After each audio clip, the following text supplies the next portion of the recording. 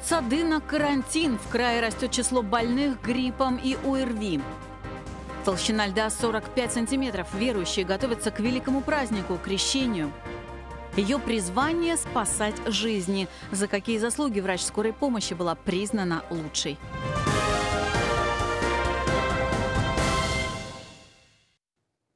Наши новости начинают свою работу в эфире в студии Татьяна Голубева. Здравствуйте. В трех детских садах края объявлен карантин. Эти дошкольные учреждения полностью закрыты. Еще в шести закрыты несколько групп. Медики начали фиксировать значительный подъем заболеваемости ОРВИ и гриппом. На сегодняшний день только в Барнауле, по некоторым данным, более 70 человек больны гриппом. В Бийске эта цифра приближается к 40. По словам врачей, в основном заражаются люди, у которых нет прививки от опасного вируса. Уже завтра православные верующие отметят один из самых важных и почитаемых церковью праздников – Крещения Господне. Каждый год тысячи людей в этот день совершают обряд омовения в освященной воде. Только в Алтайском крае подготовлено около 70 купелей. В Барнауле главный крещенский городок построили на прежнем месте на речном вокзале. Здесь будут дежурить спасатели, врачи и наряды полиции. По словам сотрудников МЧС, сейчас толщина льда на реке Обь составляет 45 сантиметров. Это значит, что одновременно здесь могут находиться 50 человек. Рядом с купелью целью не более 10. Готовность Крещенского городка и его безопасность проверил глава города Сергей Дугин. Толщина льда, она может на данный момент только увеличиться. Да, потому что холод идет, снег очищен, шуба убрана, ну, да, да. поэтому он только может быть стать выше, но никак не ниже, поэтому безопасность. То есть никаких полная. опасений нет? Опасений нет. Добавим, что крестный ход начнется завтра в 11 часов от Знаменского монастыря. Верующие пройдут до главной Барнаульской купели, где и состоится чин освящения воды. Бывшего управленца делами губернатора Алтайского края Алексея Белобородова оставили под стражей. Такое решение вынес суд Центрального района. Накануне прошло первое заседание по этому громкому делу. Как сообщает Политсибру, Белобородов проведет в СИЗО ближайшие пять месяцев. Столько ожидается продлиться судебное рассмотрение дела. На прошедшем заседании прокурор зачитал обвинение. Как из него следует, бывшему чиновнику вменяется то, что за взятку он отдавал контракты на строительные работы конкретным фирмам, а также позволял заключать госконтракты на проведение проведения работ по завышенным ценам. В частности, речь идет о здании в Барнауле на Чкалова 230. Здесь сейчас располагается Краевое министерство природы.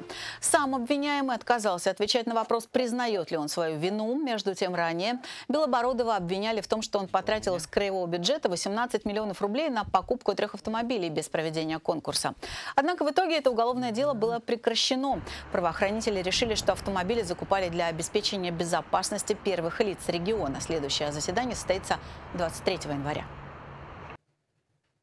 Помогать больным днем и ночью врач скорой помощи Светлана Дородная заняла первое место в региональном этапе российского конкурса «Лучший врач года». Победа для доктора стала настоящей неожиданностью. Между приемами пациентов нам удалось встретиться с лучшим врачом и узнать, каково это – спасать жизни. 30 минут ровно столько выделили журналистам на общение с докторами. И неудивительно, ведь в любой момент может поступить сигнал диспетчера, и Светлане Дородной нужно будет оказаться в другой части города, может быть, спасать чью-то жизнь. Работу в кабинете женщина не рассматривала с самого студенчества, и вот уже 21 год помогает людям буквально на ходу. Оно само как-то пришло, вот, понимаете, бывает же человек хочет, вот, и все. Вот, я вот так же вот решила, что хочу. Понятно, что тяжело, тяжело ночами, тяжело, там, много вызовов, то есть в машине, и позвоночник болит, и все. Но как-то иной раз думаешь, ну, уйду, брошу, а потом раз как-то все забывается. Самое сложное, отмечает Светлана, реанимационные звонки, которые требуют быстрых решений от врача, пока до больницы еще далеко. Кстати, в этой должности женщина уже 14 лет.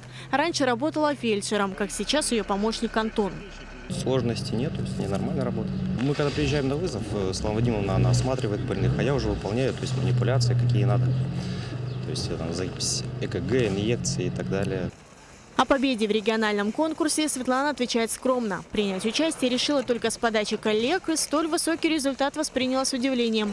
Впереди федеральный этап конкурса, но это, говорит, не главное. Главное – успеть помочь и, возможно, даже спасти чью-то жизнь. Анастасия Дороган, Ирина Харитон, Алексей Фризин. Наши новости. Поклонники морепродуктов могут утолить свой голод на ярмарке деликатесы Севера и Камчатки. Сотни килограммов свежей рыбы, икры и консервы привезли в Барнаул. Сегодня, чтобы попасть на гастрономическую экскурсию по северу и Дальнему Востоку, не обязательно лететь в самые отдаленные края нашей страны. В Барнауле открылась выставка деликатесов севера и Камчатки. Белорыбица, чевыща, нельма, ленский омуль, тунец и не только. Здесь же якутская юкола, балыки, филе, стейки, рулеты. Рыбу такого качества не встретить даже в столичных магазинах. На выставке в широком ассортименте представлена красная и черная икра. В первые дни работы ярмарки сотни барнаульцев оценили вкус настоящих курильских консерв, магаданских креветок и дальневосточных полуфабрикатов. Торопитесь, выставка будет работать до 19 января включительно на третьем этаже торгового центра «Пионер». И в завершении выпуска о погоде спонсор прогноза погоды компании «Валар». А какой глицин принимаете вы? Принимайте глицин Форте Эвалар. Он отличается высоким содержанием глицина, усиленного витаминами для мозга. Качество гарантировано международным стандартом GMP. Глицин Форте Эвалар. Почувствуйте разницу. В крае переменная облачность, возможен снег, в Белокурихе минус 7 градусов, 9 мороза, в Бийске, в Камнина-Оби, Зминогорске минус 10 ниже 0, минус 11 в Заринске и Рубцовске, в Барнауле днем до 11 слабый северо-западный ветер. Я напоминаю, телефон редакции в Барнауле 722 440. Полная картина дня, как всегда, в нашем вечернем выпуске. До встречи.